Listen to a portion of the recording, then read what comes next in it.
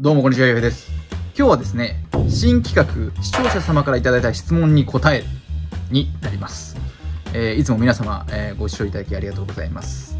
えーそろそろですね、佐野洋平チャンネル1万人いきます。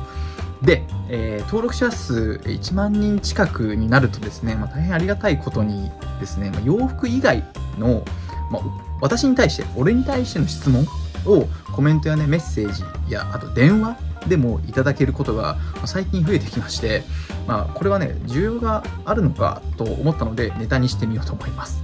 えーですので、ご興味ある方も、ない方も、お時間ありましたらぜひご覧ください。では、行ってみましょう。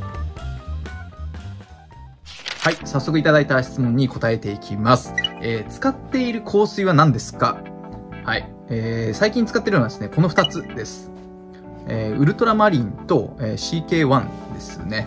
えー特にね、よく使っているのはウルトラマリンの方です。まあ、あんまね、新しいものチャレンジしないんですよ、私。なので、中学生の時から、まあ、ウルトラマリンを使っていて、もう38歳になってもえー使ってます。あの、まあ、年を取ってもね、好きな匂いなので愛用しています。はい、続いて、えーよく聞いたアーティストは誰ですか？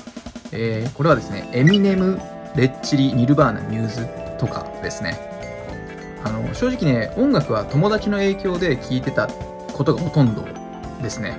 まあ、自分から調べたりして、まあ、聴いてたっていう感じはあんまないです。まあ、この中でもね、まあ、特にこうニルバーナですかね。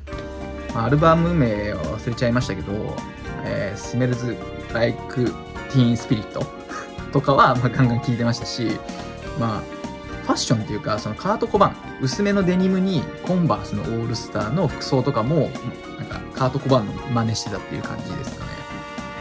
まあ、自分とかはね、まあ、楽器とかはやらないんですけど、おそらくね、ロックとかグランジとかのジャンルはね、好きなんだと思います。はい、続いては、えーこちら、履いているパンツのブランドは何ですか？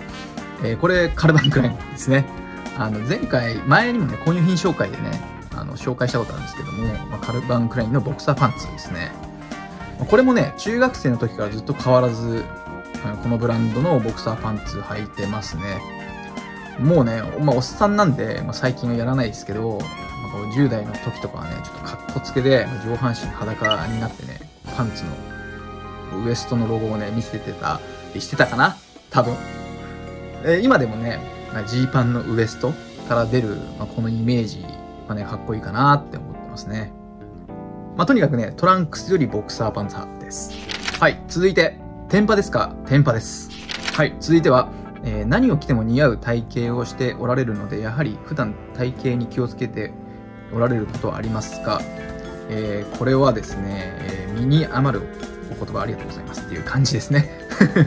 あのね、正直ね、あの、意識的に体に気をつけて行動しているってことはなくて、まあ趣味のバスケをしたり、まあ、たまに外走ったりしてるぐらいですかね。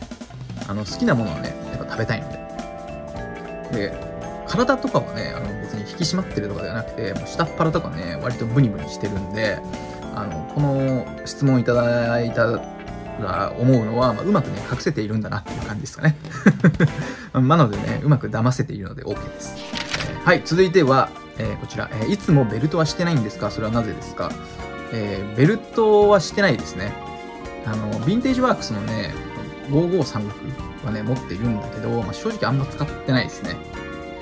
デニムはね、こうベルトいらずのサイズを選んでいると、まあ、いつもね、こう椅子に座って、まあ、デスクワークっていうのかな？なんで、まあ、ベルトのバックルがね、こう下っ腹にね、食い込んでくるんですよ。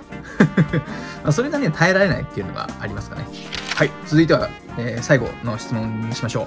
えーファッション関連アイテム以外で欲しいものってありますか？えっ、ー、とね、Apple Watch ですかね。